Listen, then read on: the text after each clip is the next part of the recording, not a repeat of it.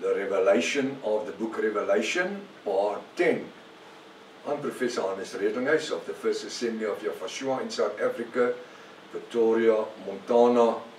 Should you require any information or want to order some of my books which I've written over the last 23 years, uh, especially the handbook that we're using for this study, the revelation of the book Revelation, which is called the two keys to the book of Revelation, uh, or otherwise, what is your God's name, or Israel's rapture, or you should require the restoration of the original Sacred Name Bible, the Rotherham version, which is the uh, Restoration Bible, which is banned in the world throughout 2020, 2005 by the World Council of Churches. It's not obtainable in any bookshop ever in the world, except you can find one in a second-hand shop. Uh, otherwise, I have a couple of copies that I can uh, give you a price on. Should you require information, contact Pastor Rico, my wife, per WhatsApp 0722 367 124 or go to my, that's also plus 27 on the international number. Or go to my webpage https double point hyphen ya y-a-h v-a-h ya fa small letters dot co.za.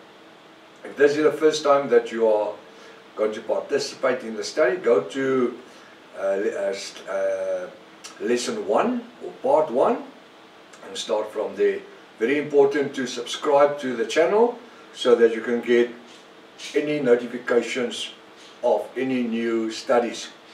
We have just started, also started with breakfast with Prof. Hannes, uh, and there's a lot of people that start looking at it. We are busy with the subject, who are the Nephilims? We do not associate ourselves with any of the following groups, any Messianic group, the Israel Vision groups, the Israel Hebrew Roots movement, the Sacred Name movement, the Yah movement. We're not part of the Jehovah Witness movement uh, or affiliated to the Seventh-day Adventist Church or any church organization in the world. We are only a worldwide Bible study group. That's all it is. We are mainly using the ancient Hebrew sacred name Bible, the 1860 Bible, which was uh, originally translated by Dr. Joseph Bryant Rotherham in 1860. It's called the Restoration of the Original Sacred Name Bible. According to this Bible, the name of Jesus was original Yahvashua. The name of God was originally Elohim or HaShem. The name of the Lord was originally Yafa.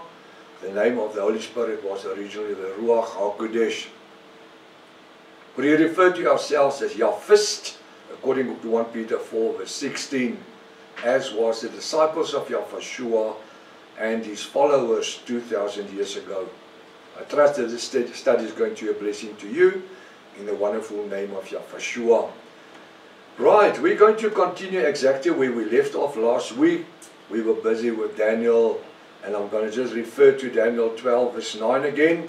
And he said, he's the angel, my hands, if I do this, it is in brackets.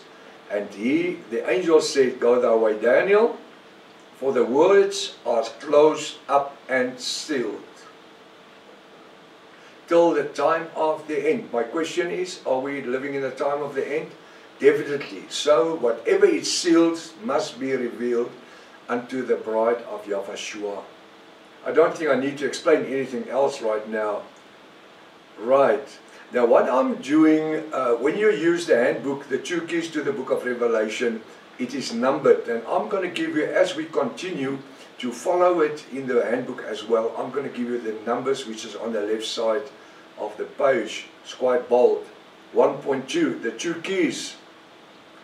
When studying the book Revelation, we find that for centuries, most Protestant, Charismatic and the Roman Catholic churches avoided the book Revelation.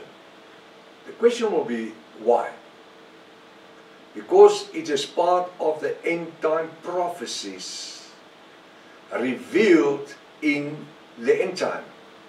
Before Yahvashua or Jesus will come to call or parousia. The parousia is the Greek for coming or call. He's calling his bride home at the end of Revelation 3 verse 22. Now what happens at the, uh, Revelation 3 verse 22? That is where the seventh church age, which is uh, Dan, uh, Revelation 3 verse 14 to 22, is happening. Now we are living in that time right now. It's also called the time of grace, where sinners can still be saved by the grace and the blood, the revelation blood of Yahshua. Uh, so how does this period of time come to an end? Time out. That's a sign for time out.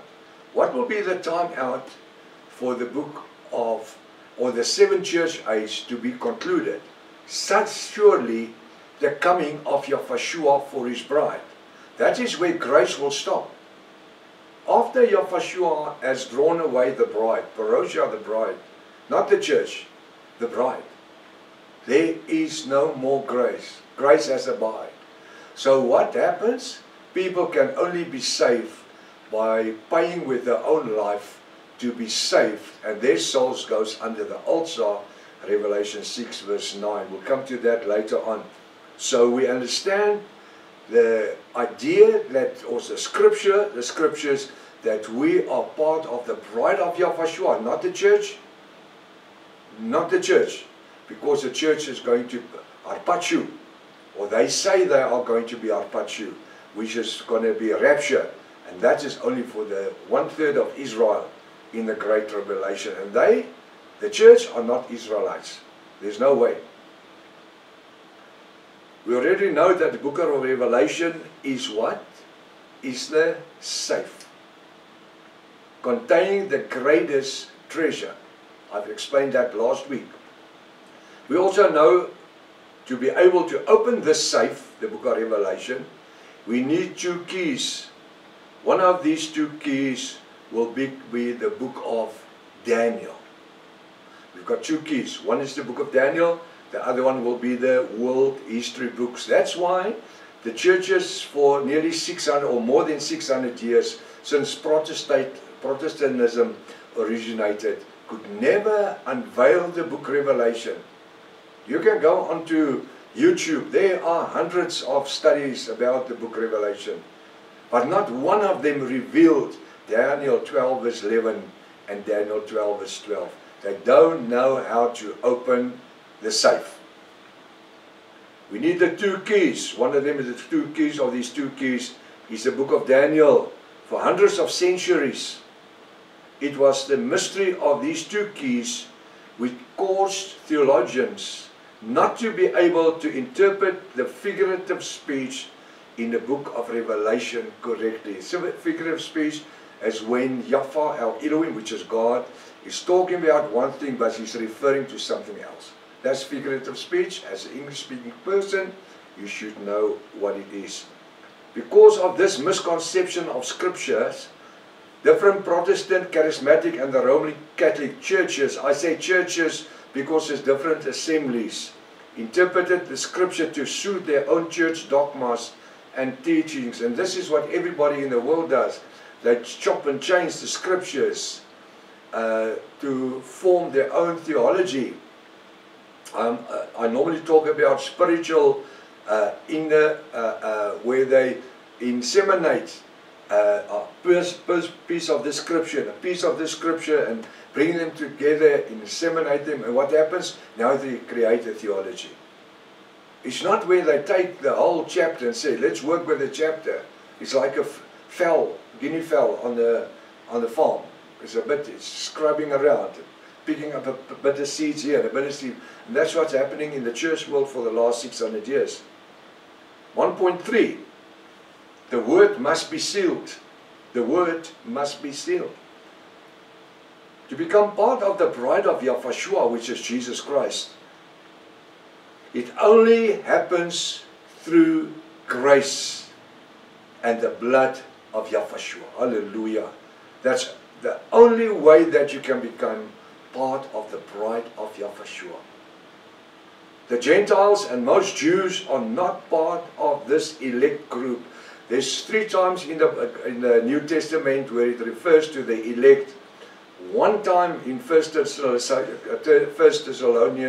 it refers to the bride as the elect, and the other two times it refers to Israel, one third, the remnant of Israel as the elect. Not all of the Israelites, only the elect. The one third or the elect.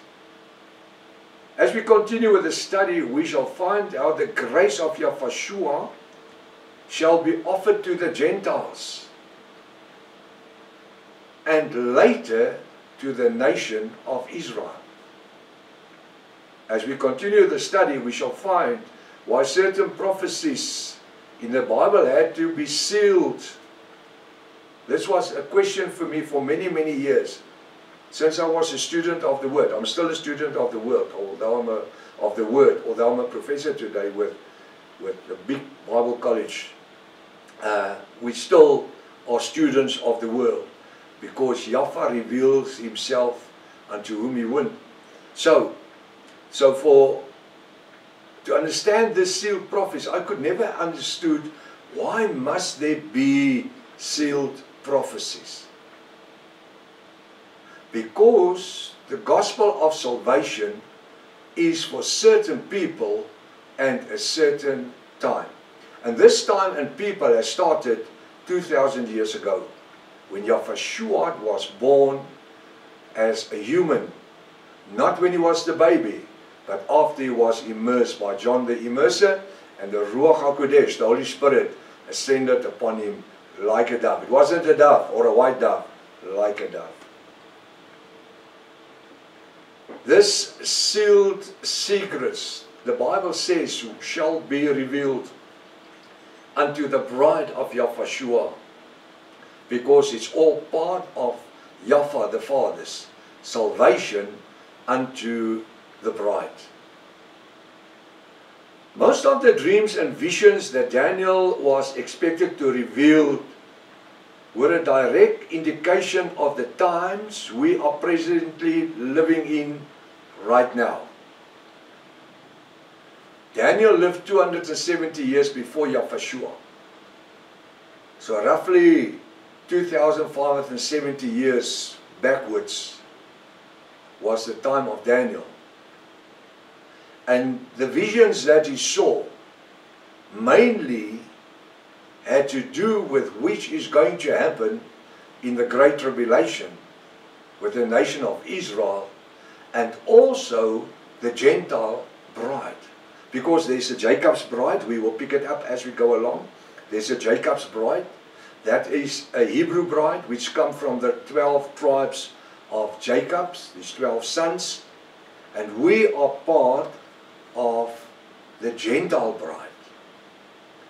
Why? Because we come from the 10 Gentile tribes, the northern Israeli tribes. We became Gentile tribes. 1.4, the figurative speech. What is figurative speech? Figurative speech is when the Bible is telling us something which is going to happen and not using a direct explanation, but rather using something else to explain the present or the past the present or the past. The book Daniel and Revelation are situated as are saturated with figurative speech and for this reason it was seldom in the past read or understood. Why? Because the true interpretation of the figurative speech could not be explained. If I think in 1979 uh, I was a, I, I just concluded a three-year uh, diploma uh, in, in theology, whereafter I became a pastor, a very young pastor. So in that time, because I was interested in the eschatology for many, many, many years, since I was a young boy, it actually, uh, I was, I was, I was triggered by the book of Revelation. I wanted to know what's happening, and especially the book Daniel as well. Uh, and a lot of times I would speak to the to the teachers and ask questions, and they wouldn't be able to answer because they didn't have the clue what was going on in the book of Daniel and Revelation. And those years wasn't the time of the internet where you can go and at least get an idea by entering a certain subject. And although 99% of the stuff on the internet is, is lies, the internet is saturated with lies, spiritual lies, which the devil is using to lead people into believing a lie because we're living in the age of the great lie. So a lot of this information that and the questions I had couldn't be answered.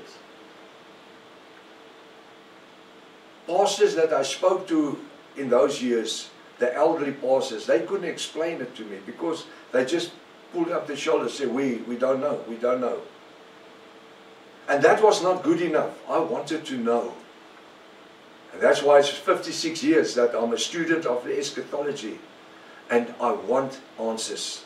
I'm seeking for answers all the time.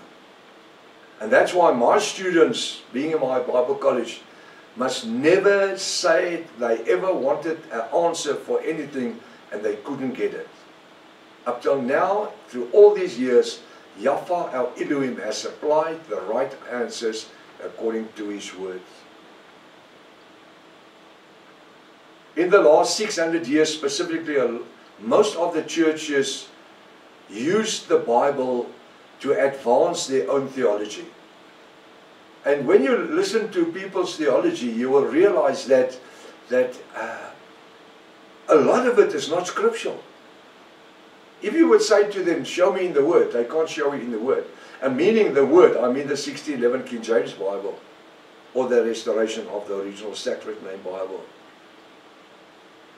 And this is why most of the figurative speech could not be revealed by the pastors of the past, pastors and priestess and reverends, because they didn't knew the figurative speech. 1.5, the first key to understand the book Daniel is to find the first key. If you want to understand Daniel, you need the first key, Daniel. We shall help to open the safe. While you we busy with, we're going to work with Daniel. But first, because we need to see what is in Daniel, which is sealed up, and why. Because that which is sealed up in the book of Daniel, Daniel 12 verse, what is it, 8 or 9, 7, 8 or 9, is that what is going to open the safe, the book of Revelation, partly because we also need the world history books to be able to come to the revelation of the book Revelation, one has to compare events in the book of Daniel. Listen to what I'm saying. We need to compare the events in the book of Daniel with the figurative speech and certain events in the book of Revelation. They are compensating each other. They are running parallel. What, and, and the wonderful thing about, about it, when Apostle John received it 59, uh, 95 AD on the island of Patmos. That was, that was nearly uh, five, six, six, six, uh, 650 years later when he received it. That was after Daniel wrote about the things that was written in the book of Daniel chapter 12, which was sealed up. Now we're going to look at the second key. The second key is the world history books.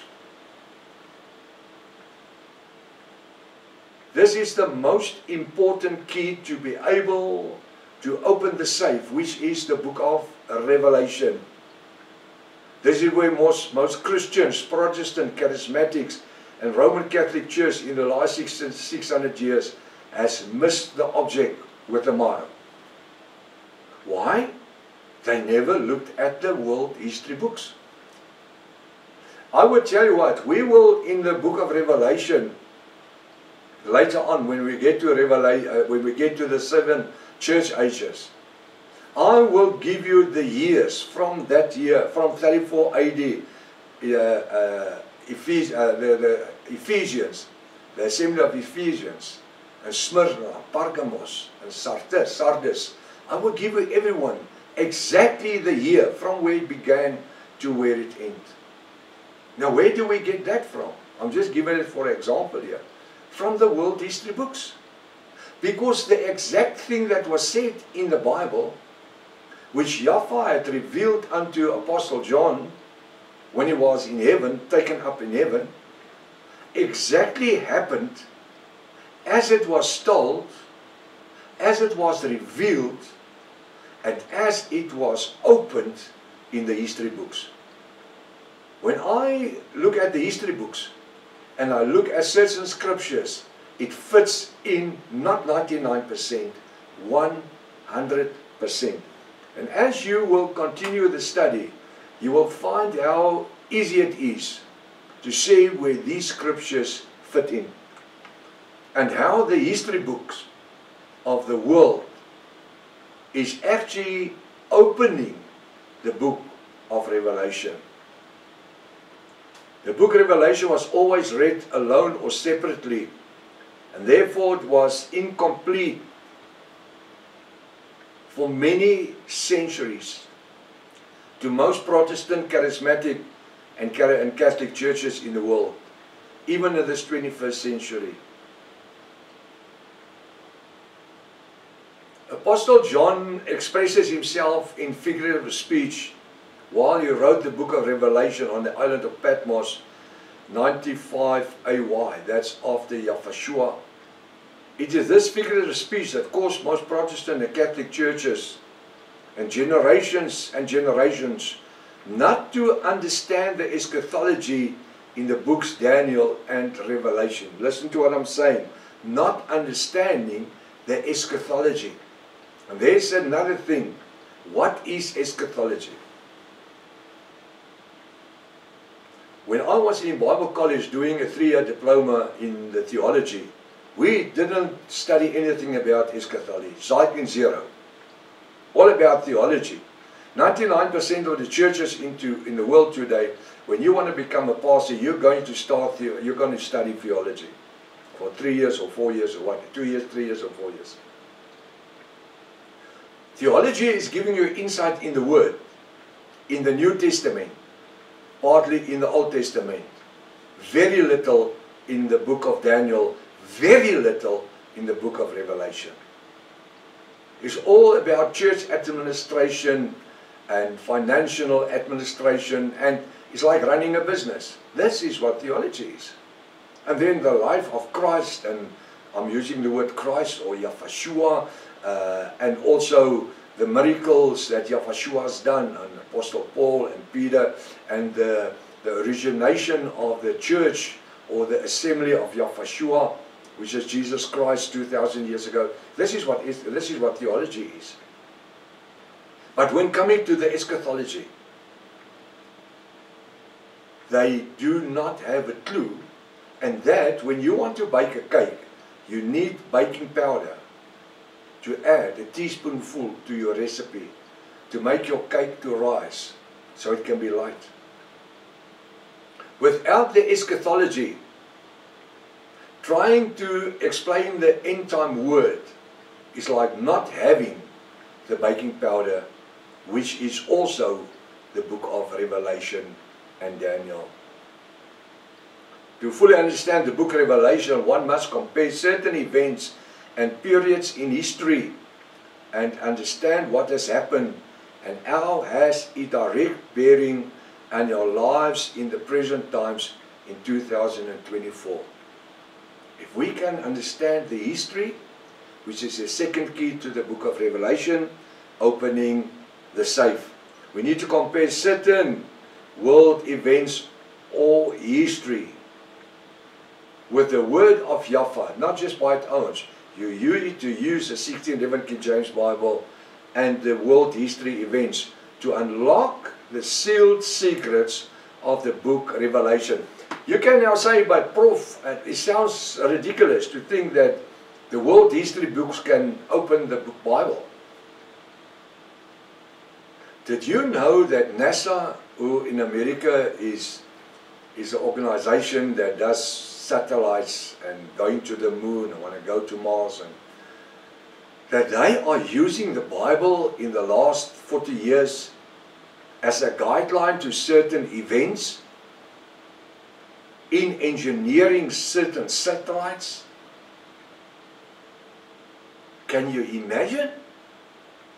Because they say there is certain truths in the Bible which they cannot find in the history of mankind and in the knowledge of mankind. So the Bible is making a difference even in Scientology. Isn't that wonderful? Atheist that doesn't believe in Yahweh or God is using the Bible as a guideline to get their satellites into orbit.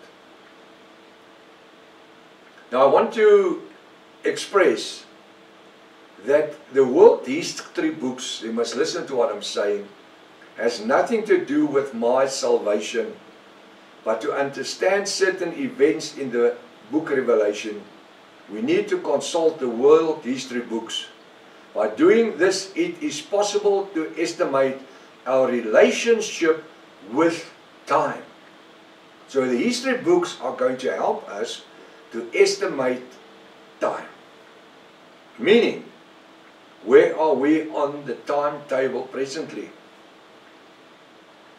I ask you, draw me a, a, a timeline. Where would you say we are right now in 2024? Have you got an idea?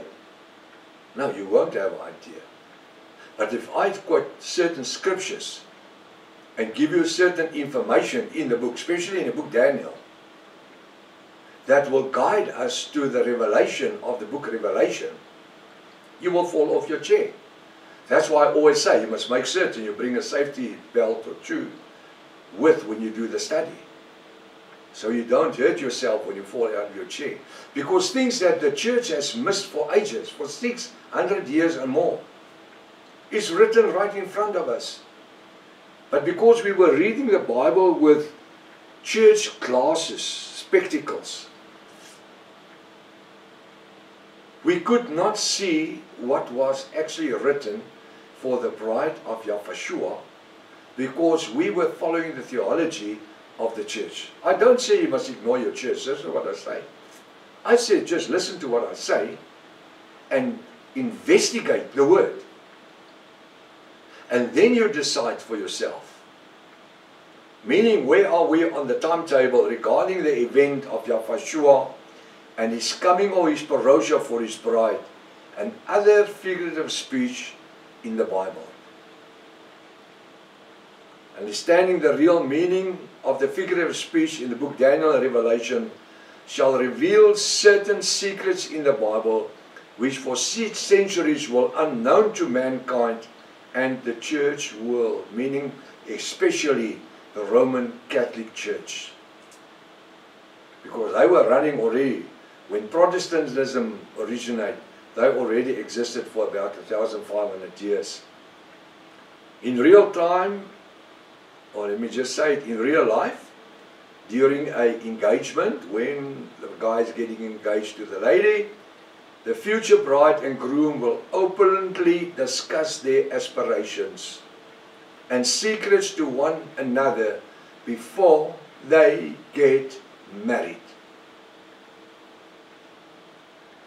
Therefore, in the same manner, we find that the word of Yahweh El Elohim, which is God, contain sealed secrets which must be disclosed to the bride of Yahshua, that is us, before the second coming can occur. The second coming of Yahshua cannot occur if the sealed secrets in the Bible are not revealed to his bride. He's coming for who? If he's the bridegroom, who's he coming for? He's coming for the bride. And he cannot come for the bride to take us into heaven if there are still sealed secrets. I say here that these sealed secrets must be unveiled unto the bride of Yahshua before the second coming can occur, where we as part of the bride of Yahshua shall be drawn into heaven in glorified bodies. Hallelujah. The bride of Yahshua must know everything. So when a, a guy and a girl is going to get married or engaged, they must reveal their secrets unto each other. They can't, after 20 years, there's suddenly a guy walking into and he says, How's the daddy? Hello, mommy. Do you think that lady's going to be uh, accepting everything after 20 years? The guy has not revealed that he had a son with another lady. But if he told her that before they got married, when they got engaged, she would have most probably said, oh, it's nothing, because then he was still a small baby. Bring him, let's raise him. But now, after 20 years, he's a problem. And the same is going to happen with the bride of Yahvashua and the bridegroom. The bridegroom and the bride, the bridegroom must reveal any secrets unto his bride. And Yafashua being the bridegroom, us being the bride who are born again through water and the Ruach HaKodesh by being immersed in the name of Yafashua to the remission of our sins, we need to know every sealed secret. And in this study, over the period of time, we're going to discover every sealed secret. And it is your right, after I've completed this study, if there's one little tiny secret that which is sealed, which I've missed, which I did not touch on, you must bring it to my attention so that we can discuss it.